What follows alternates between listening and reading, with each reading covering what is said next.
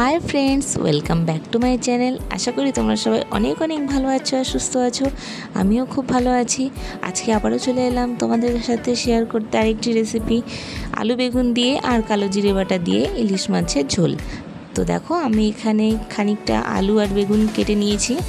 আর বেগুনগুলোকে আমি ঠিক এরকম, দেখো, সরু সরু করে, পাতলা পাতলা করে কেটে নিয়েছি। আর এখানে দেখো আলুগুলোকেও আমি ঠিক সেমভাবে কেটে নিয়েছি।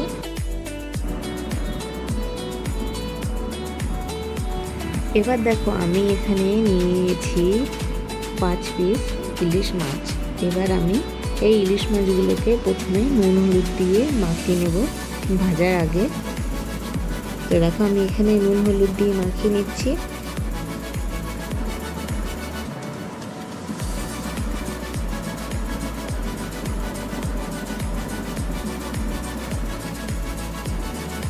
মাছগুলোকে আমি দেখো এখন খুব ভালোভাবে মাখিয়ে নিলাম নুন, হলুদ দিয়ে। এবার আমি মাছগুলোকে একটু হালকা ভেজে নেব, বেশি কড়া করে ভাজবো না। তাহলে মাছের টেস্ট নষ্ট হয়ে যায়, তাই আমরা ইলিশ মাছগুলোকে বেশি কড়া করে ভাজবো না। একটু হালকা তেলে নেড়ে নিয়ে তুলে নেব। এবার আমি কড়াইতে তেল গরম করে দেখো, মাছগুলোকে এক এক করে দিয়ে দিলাম। এবার এবার একটু এপিট উল্টে মাছগুলোকে তুলে নেব। তো দেখো, এবার আমি মাছটা ভাজা হয়ে গেলে সাইডে রেখে দেওয়া আলু বেগুনগুলোকেও ঠিক একটু লাল লাল করে ভেজে নেব।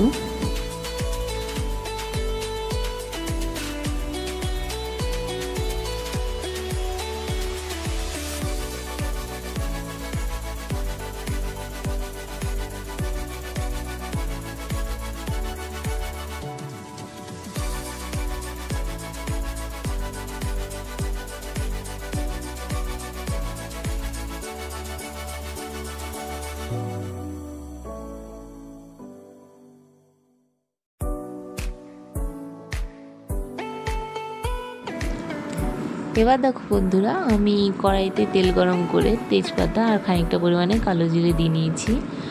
আর নিয়েছি হচ্ছে গিয়ে এখানে দেখো খানিকটা পরিমাণে কালো জিরে বাটা। এবার আমি দুটো কাঁচা লঙ্কা দিয়ে আমি বাটাটাকেও দিয়ে দেবো তেলের মধ্যে, দিয়ে হালকা একটু নেড়ে চেড়ে নেব। এবার আমি দিয়ে দিলাম সামান্য পরিমাণে দেখো লবণ। আর আমি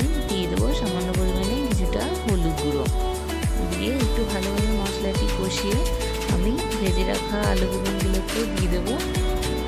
এবার বন্ধুরা, আমি যে আলু বেগুনগুলো এই যে ভেজে রেখে দিয়েছিলাম, দেখো এক এক করে আমি এগুলোকে তেলের মধ্যে দিয়ে একটু কষিয়ে নিয়ে তারপরে সামান্য পরিমাণে কিছুটা জল দেব। তো বন্ধুরা তোমাদের যদি ভিডিওটি ভালো লাগে, অবশ্যই আমার ভিডিওতে একটা লাইক দিয়ে দিও। আর তোমরা যদি আমার চ্যানেলে নতুন হয়ে থাকো, অবশ্যই আমার চ্যানেলটিকে সাবস্ক্রাইব করে পাশে থাকা বেল আইকনটি অবশ্যই প্রেস করে দিও। যাতে এরকম নতুন নতুন ভিডিও নোটিফিকেশান তোমাদের কাছে পৌঁছে যায় খুব তাড়াতাড়ি।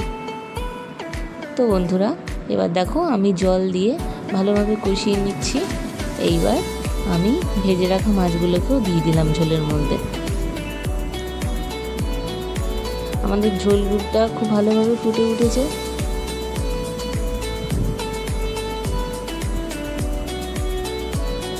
তো দেখো বন্ধুরা, আমাদের মাছের ঝোলটা খুব ভালোভাবে ফুটে উঠেছে। এবার আমি কিছুটা কাঁচা লঙ্কা এরকম চিড়ে রেখে দিয়েছিলাম। এবার আমি কাঁচা লঙ্কাগুলোকে দিয়ে দিলাম। কাঁচা লঙ্কাগুলো নামানোর কিছুক্ষণ আগে দিলে পরে বেশ কাঁচা লঙ্কা সুন্দর একটা ফ্লেভার চলে আসে। তো দেখো আমি এবার খানিকক্ষণ নেড়ে এবার দু মিনিটের মতো রেখে ওভেন থেকে নামিয়ে নেব।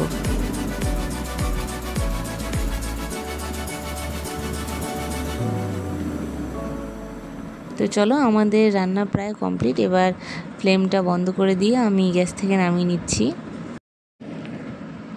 তো দেখো বন্ধুরা, রেডি হয়ে গেছে আমাদের আলু বেগুন দিয়ে আর কালো জিরে বাটা দিয়ে ইলিশ মাছের ঝোল।